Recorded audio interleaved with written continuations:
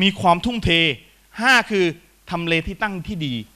หกคือต้องมีสต็อก นี่คือการทำธุรกิจโดยปกติเลยนะฮะ โดยการที่เราไปทำปกธุรกิจ ถามว่านี่คือธุรกิจ แต่วันนี้ท่านเข้ามาในธุรกิจประกันชีวิตมา SCB Life ต้องมีพวกนี้ไหมครับ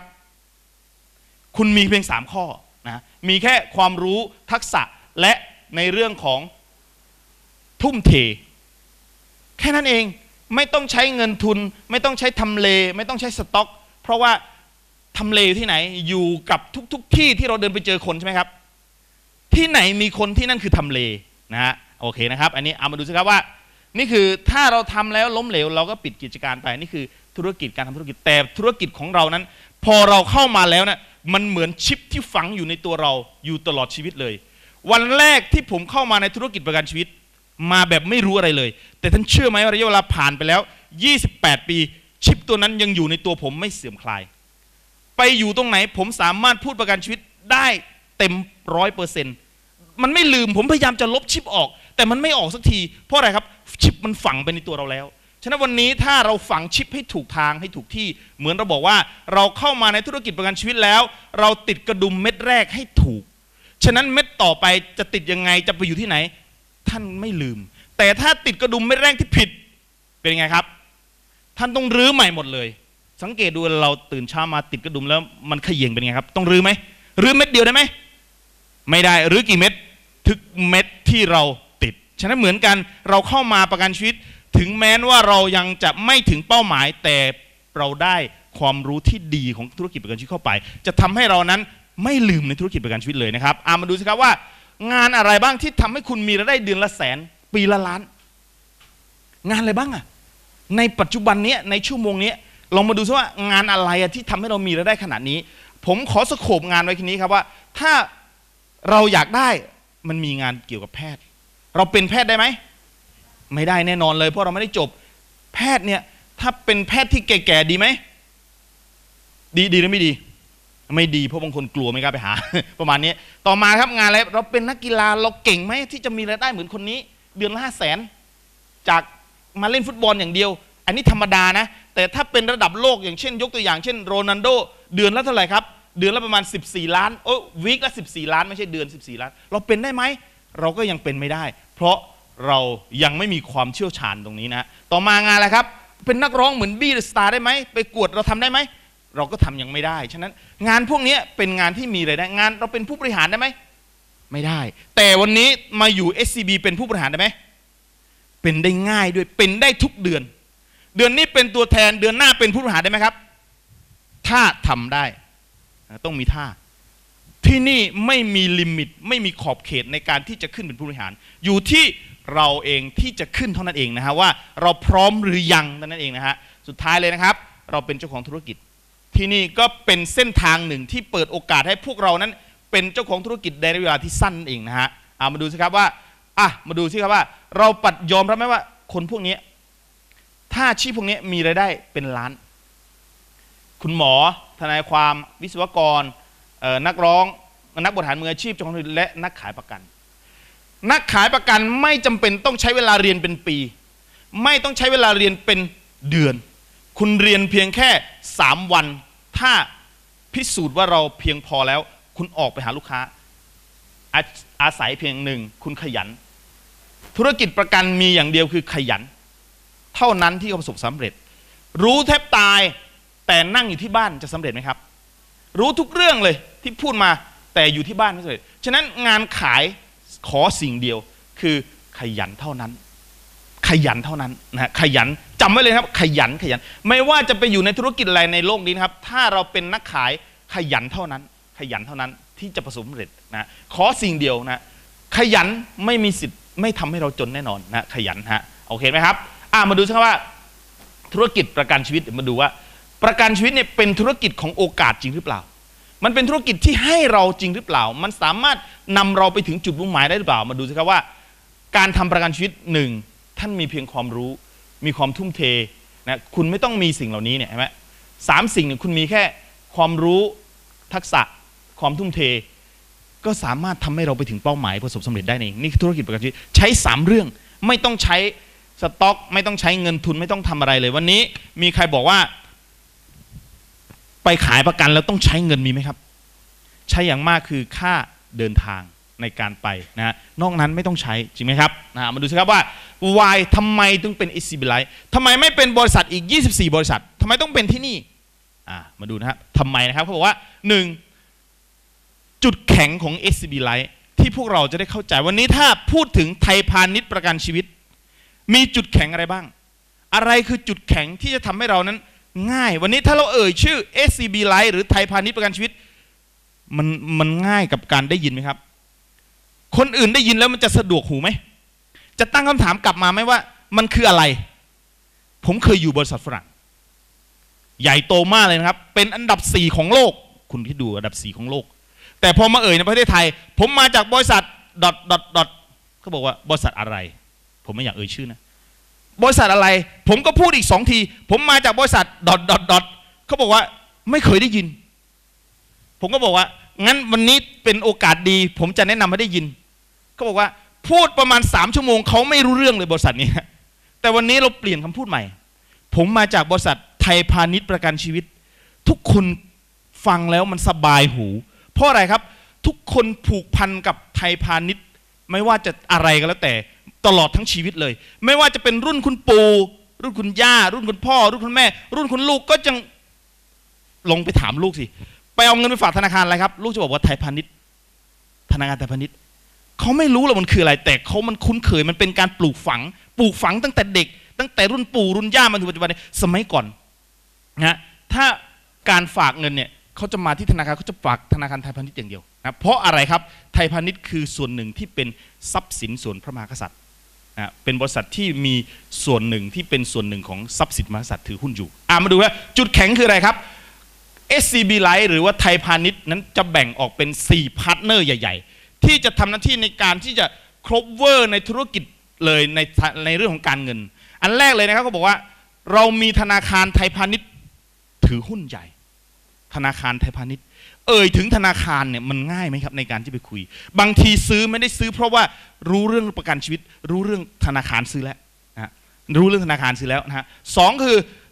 เป็นบริษัท ที่มีบริษัทในเครือเป็นบริษัทที่ทำเกี่ยวกับการซื้อขายหุ้นในตลาดหลักทรัพย์ บริษัทหลักทรัพย์นี่คือบริษัทขายขายหุ้นนะฮะเทรดหุ้นในปัจจุบันในตลาดหลักทรัพย์ฉะนั้นมันเป็นที่รู้จักนะฮะสามคืออะไรครับเป็นบริษัทที่มีบริษัทเรียกว่าบริษัทการลงทุนเรียกว่าบลจไทยพาณิชย์นะฮะก็คือเป็นบริษัทที่ขายหน่วยการลงทุน เช่น วันนี้ผมอยากจะซื้อ LTF ผมก็ไปซื้อที่นี่ได้เลย ผมอยากจะไปซื้อ RMF ผมก็ไปซื้อที่นี่ได้เลย นะผมอยากไปซื้อหน่วยกองทุนต่างๆ ซื้อที่นี่เลย ซึ่งเป็นบริษัทที่ครบเวอร์ในเรื่องของการลงทุนทั้งหมด และสุดท้ายเลยนะครับ เป็นบริษัทที่มีบริษัทประกันชีวิตเป็นของตัวเอง ฉะนั้นนี่คือจุดแข็งในเรื่องของ SCB Group SCB Group นี่เลยนะฮะคือเป็นครบเวอร์ในเรื่องของสายสถาบันการเงินทั้งหมด ในการลงทุนทั้งหมดทำให้เราง่ายในการที่จะทำธุรกิจกับผู้คน เอ่ยชื่ออย่างที่ผมบอกนะผมอยู่บริษัทฝรั่งมาเอ่ยชื่อ ยากมากกว่าจะซื้อ คุณต้องใช้ความพยายามประมาณ 300%แต่นี้คุณอาจใช้ความสมานแค่ประมาณ 20%ซื้อได้แล้วขายได้แล้วนะอ่าประมาณนี้นะฮะโอเคนะครับนี่คือจุดแข็งเอามาดูนะครับว่าธนาคารไทยพาณิชย์เนี่ยเป็นธนาคารที่มีผลกำไร ต้องบอกว่าในปี 57 เนี่ยสูงที่สุดในกลุ่มของธนาคารทั้งหมดนะฮะและเป็นหนึ่งในกลุ่มธนาคารทยพาณิชย์จาก 2,000 กว่าธนาคารนะครับ ของนิตยสารฟอร์บอกว่าเป็นบริษัทที่มีผลกำไรในระบบธนาคารดีที่สุดของประเทศไทยหรือของของของธุรกิจประกันธนาธนาคารนั่นเองฮะสุดท้ายเลยนะครับก็เป็นในเรื่องของภาพลักษณ์ชื่อเสียง หรือตราสินค้าหรือแบรนด์มันแข็ง เพราะอะไรครับ เอ่ยชื่อแบรนด์ไทยพาณิชย์แน่นอน ช่วยเราประมาณผมว่าเยอะแล้วนะช่วยเราเยอะมากในการที่จะเอ่ยนะฮะโอเคนะครับ อันนี้คือจุดแข็งเอามาดูแล้วความสำเร็จของ ไทยพาณิชย์ประกันชีวิตคืออะไรครับ บริษัทไทยพาณิชย์มีสินทรัพย์มากกว่า2แสนล้านบาทคำถามที่ทุกคนเคยถามว่าเคยได้ยินว่า เขาจะขายกิจการแล้ว ผมถามสิ ใครจะซื้อครับ คุณซื้อไทยพาณิชย์ประกันชีวิตต้องลงทุนเท่าไหร่ครับสองแสนล้าน ผมถามว่าใครจะซื้อ เออตอบคำถามผมหน่อยดิบริษัทไหนจะซื้อ เพราะสินทรัพย์ไทยพาณิชย์เขาคงไม่ขายสองแสนล้านด้วยเพราะสินทรัพย์ก็เท่านี้เขาต้องขายมากกว่านี้ฉะนั้นคำถามนี้ที่พวกเราเคยได้ยินไม่มั่นใจ ผมว่าให้ให้ดิลีทออกจากระบบเราเลย เป็นไปไม่ได้นะอย่างน้อยที่สุดแบงก์ต้องอยากมีสถาบันการเงินให้ครบวงจรนะฮะต่อมาครับเป็นบริษัทประกันชีวิตที่มีผลอัตราเบี้ยประกัน 5 ดับหรือเติบโต 30 เท่าในรอบ ระยะเวลาเพียง 10 ปี พูดง่ายๆว่า เราทะยานจากที่ต่างๆ ขึ้นมาอยู่ที่เท่าไหร่ครับ ที่5ที่5วันนี้ลงพูดเลย ผมเป็นบริษัทประกันที่ top five พูดได้ไหม top five นะ top five มันโอเคนะใช่ไหมมัน top five โอเคอนาคตเราจะทะยานไปสู่ที่ที่ที่สูงกว่านี้ที่สูงนี้ แต่ไม่รู้ว่าภายในกี่ปีมันจะไปอย่างนั้นแน่นอน อันนี้ที่บอกนะฮะ และเป็นบริษัทที่มีเบี้ยประกันรวมต่อปี 50,000 ล้าน ต่อปี และที่สำคัญที่สุดนะครับ รางวัลระดับโลกก็คือเราได้รับ World Financial Global Insurance Award ปี2515 Best of Insurance Company Thailand ก็คือเป็นบริษัทที่มีการบริหารจัดการและในเรื่องของการเงินที่ดีนะฮะและมีความเติบโตรวมทั้งสินทรัพย์รวม ตรงนี้น่าจะเป็นที่การันตีให้เราทราบว่าไทยพาณิชย์ประกันชีวิต จะต้องมีความเจริญเติบโตต่อไปนะคำถามที่เกี่ยวข้องเกี่ยวกับกันว่าจะอย่างนั้นอย่างนี้ผมว่า ให้เราดีลิทออกจากสมองเราไปดีลิทออกจากตัวเราไป ผมว่าไม่มีนะฮะตรงนี้อะมาดูต่อไปนะครับว่า วันนี้แล้วไทยพาณิชย์มีจุดดีอะไรมากกว่านี้อีกนะฮะมาดูสิครับว่าด้วยระบบโครงสร้างผลประโยชน์ที่ดีที่สุดในอุตสาหกรรม พูดง่ายๆว่า ผมสรุปง่ายๆ ขายเบี้ยประกันมา1 0 0 0 0แสนบาท ถ้าอยู่ไทยพาณิชย์คุณจะได้รับผลประโยชน์กลับไป 84 บาท 84เปอร์เซ็นต์โทษทีไม่ใช่80 บาท ขายเบี้ยประกันมา 1 0 0 0 0แสนบาท ท่านได้เงินกลับไป 81,000เท่ากับ 81เปอร์เซ็นต์นี่คือรายได้ของโครงสร้างผลประโยชน์ลำพังแค่ตัวแทน ที่ไหนให้ได้มากกว่านี้ บอกผมนะผมจะได้เอามาคอมเพลให้ดูนะนี่คือโครงสร้างที่ดีที่สุดนะพัฒนาผลิตภัณฑ์และแบบประกันใหม่ ๆ อยู่เสมอ ของเราไม่ต้องมีแบบเยอะ พวกเราบางคนบอกว่า อาจารย์ของเรามีแค่ 6 แบบ ผมถามจริง ๆ ในชีวิตจริงนี่ขายประกันเกิน 6 แบบไหม มี 10 แบบและสับสนไหม สับสน ที่นี่เขาขจัดความสับสนให้พวกเราแล้ว ให้คิดแค่ 6 แบบ 6 แบบนั้นเป็นแบบที่เลือกแล้วว่าเป็นแบบที่มี IRR รู้จักไหม IRR ผลตอบแทนตลอดกรมธรรม์นั้น ดีที่สุด คือได้รับว่าผลตอบแทนตลอดกรมธรรม์นั้นดี เลือกให้แล้ว ถ้าคุณขายประกันบนพื้นฐานในการคิด IRR สับสนทำไมสับสนครับ เพราะลูกค้าจะงง ลูกค้าจะเอาที่นู่นมาเปรียบเทียบ เอาที่นี่มาเปรียบเทียบยุ่งวุ่นวายไปหมด ขายประกันอย่าคิด IRR IRR คือผลตอบแทนตลอดกรมธรรม์ที่มีในเวลาเขาแข่งขันกันเวลาเวลาเขาเขาเปรียบเทียบกัน อย่าเอา IRR มาคิด เพราะลูกค้าไม่ได้ซื้อด้วย IRR ลูกค้าลูกค้าไม่ใช่ลูกค้า ลูกค้าซื้อเพราะว่า ไฟมันกำลังสุมตัว มันกำลังร้อนแรง เมื่อเราเผาเหล็กให้มันร้อน เราต้องงอมันขนาดนั้น มันจะงอได้อย่างง่าย แต่ถ้าเราปล่อยให้เย็นอะไรครับ เหมือนเขาบอกว่า ลูกค้าได้สติตัวแทนอดสตังค์เคยได้ยินปะขายดีมากเลยขายเขาจะซื้อแล้วเดี๋ยวก่อนค่ะเดี๋ยวก่อนเดี๋ยวอธิบายให้จบก่อน พอลูกอธิบายจบลูกค้าตั้งสติได้พอดีพรุ่งนี้เขามาคิดลูกค้ากลับไปคิดต่อใช่ไหม